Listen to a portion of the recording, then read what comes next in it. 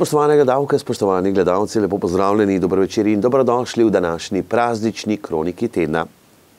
Za nami so prazniki, med katerimi smo se spomnili tistih, ki jih ni več med nami. Danes, 1. novembra, so bile na pokopališčih spominske slovesnosti, zagorelo je na tisoče sveč.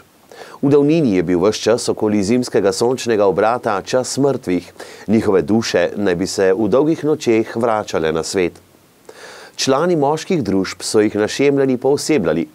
Krščanstvo je spremenilo pogansko animistično gledanje, tako da je rajne prikazovalo kot duše v vicah, ki se morajo očistiti grehov preden smojo v nebesa.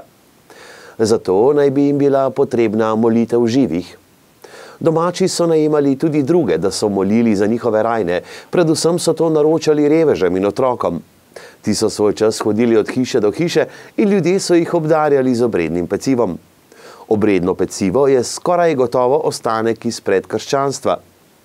Neznani poganski praznik mrtvih se je v krščanstvu razdelil še na dva krščanska godova. Na god svetega Mihaela, ki je 29. septembra, ko na Koroškem delijo obredno pecivo, in na god svetega Martina, 11. november, ko po jesenski pojedini pustijo na mizi ostanke za verne duše. Današnjo kroniko tedna nadaljujemo na najvišji točki naše občine, na vrhu Triglava. Minulo soboto je naš občan Franjo Potočnik vrh Triglava obiskal že tisočič. Tisoči vzpon na najvišjega očaka pa je bil še posebej veličasten. No, danes si zame en kar prazničen dan, namreč tisoči vzpon ni kar tako. Od leta 2000 pa do zdaj se jih je kar dobro nanizalo, ne?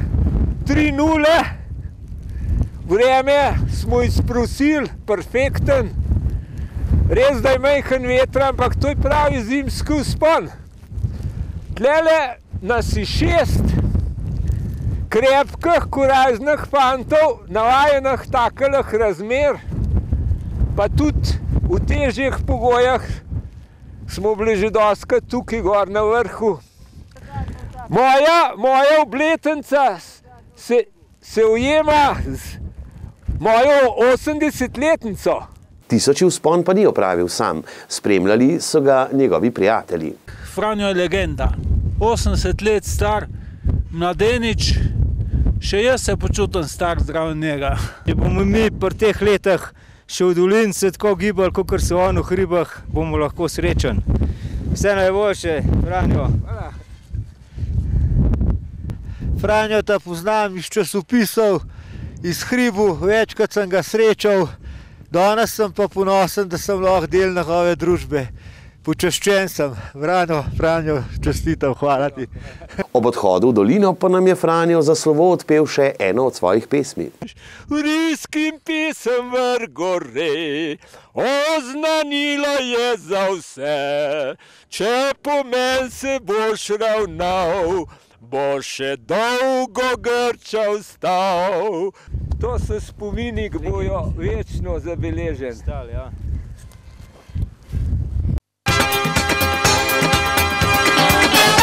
V torek popoldan je zagorelo v nastanitvenem objektu Bergi v Kranski gori.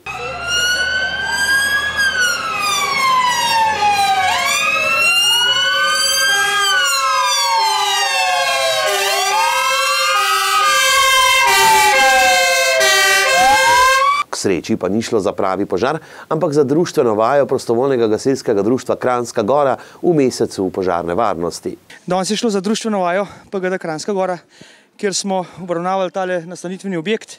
Uh, imeli smo tri scenarije s tem, da so bili tam ponesrečenci, uh, da smo uporabili tudi avtolestu, pa par iznenadnih primerov, takih, na katerih niso pričakovali gasilci. Kako pa je vaja potekala? Bila sta dva napada, ena ekipa po dva gasilca, ena ekipa po tri gasilce. Um, ponesrečence so mogli spraviti na varno, pač uh, pogasiti požar, preiskati prostore, označiti prostore, uh, pa potem sanacija požara. Hej, hej, na pomoč! Gasilci! Na pomoč! Kako pa je bila z vajo zadovoljna Martina Culiberg, lasnica nastanitvenega objekta Bergi? To je bila moja prva izkušnja s tako vajo, uh, pa upam, da v praksi je ne bo, ampak je bila izredno profesionalno izpeljana in sem presenečena nad uh, hitrim odzivom in ja, nad uh, aktivnostjo cele ekipe. V soboto so se v gozdu Martulku zbrale čarovnice in čarovniki na tradicionalnem kostanjevem večeru. Več pa v izjavi predsednica turističnega društva Gost Martuljek Anja Zornada. Tako kot vsako leto smo se tudi letos tradicionalno zbrali tukaj na kostanjevem večeru v Gozdu Martulku. Kot vidite, se dogaja, ljudi je kar nekaj, tudi prave čarovnice so nas obiskale in nam seveda pripravile čarobne napoje s črvi in pa seveda kuhano krvjo. Za vse ostale, ki pa niso tako drzni, da bi preizkusili čarobne napoje, pa smo pripravili seveda pečen kostan in pa tople napitke. Naj pa izkoristim še priložnost in povabim vse. V mesecu novembru imamo pripravljenih v turističnem društvu Gost Martuljek še kar nekaj aktivnosti in sicer bomo zdaj lahko rečem tudi že tradicionalno pripravili delavnico izdelovanja adventnih venčkov. Potem bomo po vzoru spomladanske izmenjevalnice, na kateri smo izmenjevali seme, sadike in vse, kar je povezano z vrtnarjenjem, tokrat izmenjevali okraske, dekoracije, novoletne lučke in pa darila. Namen izmenjevalnice je, da vse stvari, ki so še uporabne, pa jih mi ne uporabljamo, prinesemo in zamenjamo za kaj drugega ali pa samo prinesemo, ker morda komu pridejo te stvari še prav. Ker vsako leto tradicionalno športno društvo Varpa oziroma člani športnega društva Varpa v gasilskem domu v Gozdu Martulku postavijo v večnamenski dvorani smrečico, smo jih tokrat naprosili, če lahko združimo moči in nam smrečico postavijo malce prej, tako da bomo smrečico okrašeno pričakali že Miklavža. Turistično društvo pa bo organiziralo delavnico izdelovanja okraskov za naše najmlajše krajane in pa občane, tako da bomo z otroki skupaj okrasili smrečico in potem s tako lepo okrašeno smrečico pričakali Miklavža. V decembru pa zopet ena tradicionalna stvar in seveda na predvečer svetega Miklavža, torej 5. decembra, tradicionalno prireditev za naše najmlajše in pa seveda prihod Miklavža z njegovim spremstvom in obdarovanje otrok. Zdaj pa smo, spoštovane gledalke in gledalci, v drugem delu naše oddaje, ko bomo pregledali koledar dogodkov v prvem novembrskem tednu. V prihodnem tednu bodo potekali zbori občanov v občini Kranjska Gora. Najprej bo že v sredo ob 19.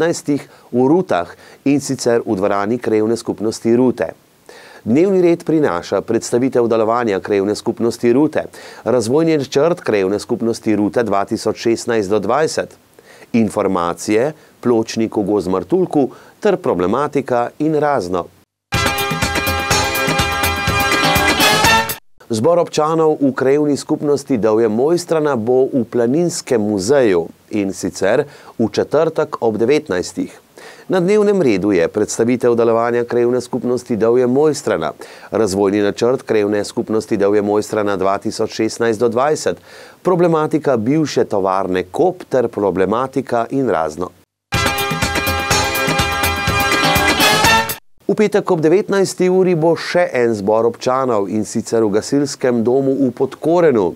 Dnevni red je sledeč: predstavitev delovanja krajevne skupnosti Podkoren, razvojni načrt krajevne skupnosti Podkoren 2016-2020, obnova starega gasilskega doma ter problematika in razno. V Slovenskem planinskem muzeju v Mojstrani bo v petek ob 18. potopisno predavanje. Tolminska na sončni strani Alp. Predava bo Milko Lesjak iz Gorske reševalne službe Tolmin. Že dan prej, v četrtek ob 17. bo v prostorih krevne skupnosti Rateče Planica delavnica z naslovom Naravna zališčna mazila. V tem času poteka tudi zbiranje predlogov za kandidate za sodnike porotnike na okrožnem sodišču v Kranju.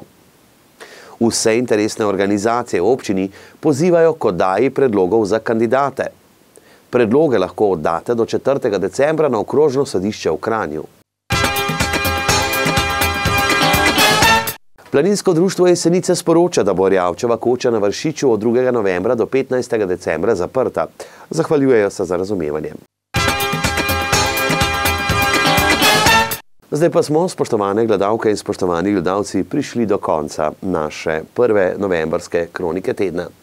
Lep in miren teden vam želimo in nasvidenje prihodnič.